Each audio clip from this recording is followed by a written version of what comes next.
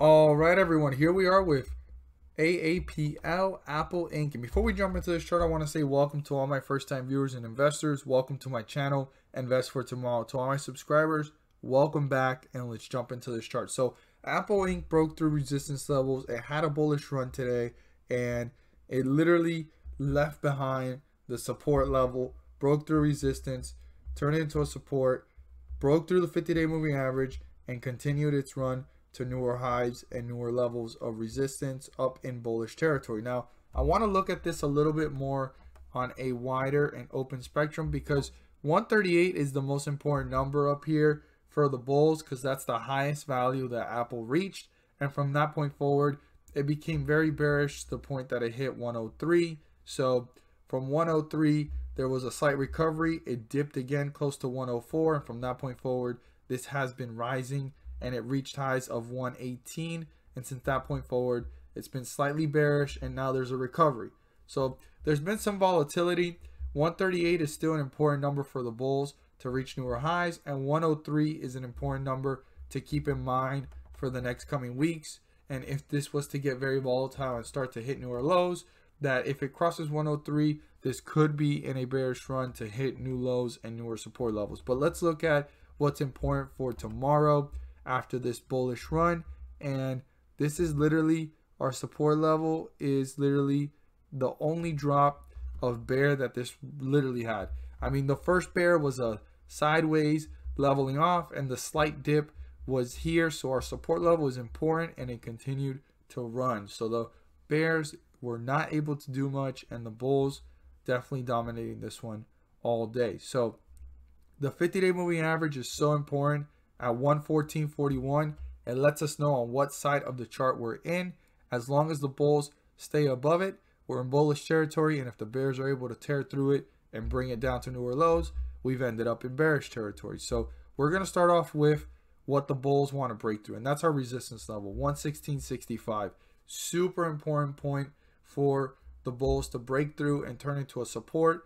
After closing at 116.51, the bulls are going to want to break through 116.65 to continue the momentum and reach newer highs and pull further away from the 50-day moving average in an upward direction. Super important, like I said, for the bulls to continue their run. They need to break through 116.65, turn it into a support to reach newer highs and newer levels of resistance.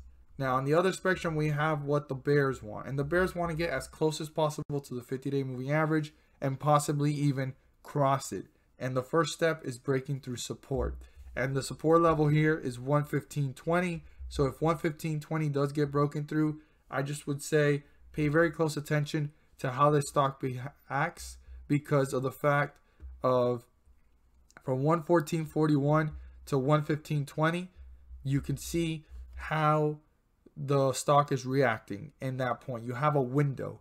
So from 115.20 to 140.14.41, you have a window to see how the stock is reacting and how quickly is it moving down or are the bulls trying to reappear and bring this one back up? Obviously 115.20 gets broken through. You'll want to see how quickly are the bears tearing this one down or are the bulls trying to reappear? Now if the bulls do try to reappear they still have a goal here and that's breaking through 116.65 because the bulls just reappearing and leveling it off doesn't get them to continue the momentum and reach newer highs because the 50 day moving average doesn't stop for anybody. It will continue to move its way up and catch up to the stock price. So, very important for the bulls that if they do reappear, they got to come in strong and hefty and break through the resistance level and turn it into a support to continue their run.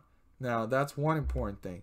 Now, on the other spectrum of things, we have also what the other possibility could be. The Bears break through 115.20 and start to bring this one quickly down to newer lows. And their goal is going to be to break through 114.41. And if they accomplish that, they've gotten back into bearish territory and their goal is to hit newer lows and newer support levels. That's why at 115.20, even though there's a small window here, I highly encourage every investor to pay very close attention to the behavior of this stock and what is going on. As always, if you found this video helpful and informative, please do so and subscribe. Share this with your friends and community. And don't forget to hit the like button and let me know you watch this video. And turn on all notifications by clicking on the bell so that you don't miss a single video that I post. Thank you guys so much for watching and let's make some money. Well, at the end of this video, that pop-up video, I actually go into deeper detail about the S&P 500 index and I just want to break it down a little bit to you guys and see what it is that I want you guys to watch. I know I've been saying it in my last couple of videos. Check out the video and you're like, well, what does that do for me? I'm just looking for the ticker symbol. I want to see the analysis and so forth. Well, this right here is great news for us as investors right now, present day. I know that the Federal Reserve pumps have an effect. A lot of analysis say that and experts in the future. But right now, in the present, how can you continue to maximize profits? Well, it's been awesome to see the S&P 500 rise the way it has in such a great recovery due to the fact of these pumps. I'm not sure if that trickle effect is already starting to show that these pumps have had an effect where it can actually start going in the other direction or if this is just due to the fact of the time of the year, people taking profits, the uncertainty that's coming up, or fear, or so forth, right? So that is something that I am already seeing how quickly this is actually fallen.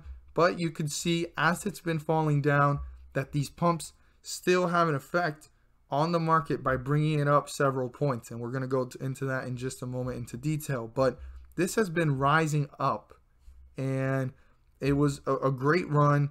It hit highs. And from this point forward, it actually started to fall and it became more turbulent. The volatility has always been there, but these pumps were actually supporting the market on rising up. But we're going to look at the pumps now because this is the state that we're in. We're not in that bullish run anymore. So I'm going to pull this up. These are some of the most recent pumps.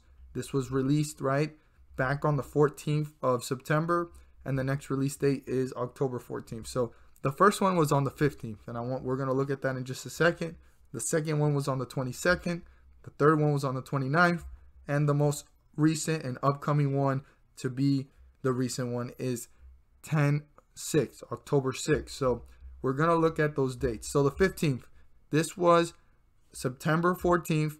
It slightly dipped and it ended off around 33.83 and the next day was the 15th and it rose up to 34.18. That right there is a rise of several points for the S&P 500 index. And again, 21st rising up and we land on the 22nd. So the day pretty much ended and started here at 32.61 and the end of the run cuz then comes the 23rd, the end of the run on the 22nd, which was the date of the next pump, it reached up to 33.21. So again, rose up several points. Now the anticipation here for the next pump and the week that was coming, the end of the week started really strong, started the week strong on Monday, and it started to dip on that Tuesday of the date of the pump. Well, guess what? The pump actually saved it from hitting newer lows and actually created momentum to continue to rise up because it hit 32.28 and before the day ended, it rose up to 33.49. This is actually one of the pumps that I've seen the pump do the least effect in rising it by several points, but I have seen the pump do this before, stop it from going in this direction and rising it back up, creating an attractiveness to the market to bring in obviously more investors and obviously do this effect to bring it up. And then obviously the volatility of the market is normal to be seen like that. So we're anticipating the next one. But what I want to talk about is what does it mean for us as investors that these points of the index are rising up? Well, if the index of the S&P 500 is rising up several points, that means that it is rising up and there's 500 ticker symbols within it. Some of them, not all of them, are rising up with it. So individual ticker symbols are rising anywhere from 30 cents to up to $3, maybe even more. But I have seen ticker symbols rise on the dates of these rises and these points rising on the index. Individual ticker symbols rise 30 cents, $3 per share. I know that that doesn't sound like a lot. It sounds like, oh, well, it's 30 cents. Oh, it's $3. I know. I know it sounds small, but per share, it does add up. And I'm not saying that it guarantees you profits, but profits are profits. And I always say that in all of my videos, especially when I'm talking about this. And this is an opportunity to maximize profits and minimize your losses. I'm just encouraging you guys to check out the video. I go into more detail about it. I just wanted you guys to see with your own eyes the dates of the pumps and what it has done. And if we go back to previously reaching these highs and dipping, this pump of the scheduled dates was rising this up in an upward direction. I mean, here are some notes and I also had notes here, but I deleted it because I didn't want those notes to go ahead and confuse people in the upcoming pump dates of over here. But something that I find interesting is, yes, on the dates of these pumps, the market was rising up to newer highs, reaching newer levels, and going up to the point that it hit these highs. But on the way down, on the dates that the market is rising several points, I mean, you do see it several times before, okay? That's good. But on the dates of the pumps, it's actually rising. It's actually rising. It's actually leveling off, rising, creating momentum to go to the next level. And it actually rose due to the fact of the anticipation of people knowing that there was probably an upcoming pump. So many investors know about this. A lot of people aren't speaking about it or they're unaware of it.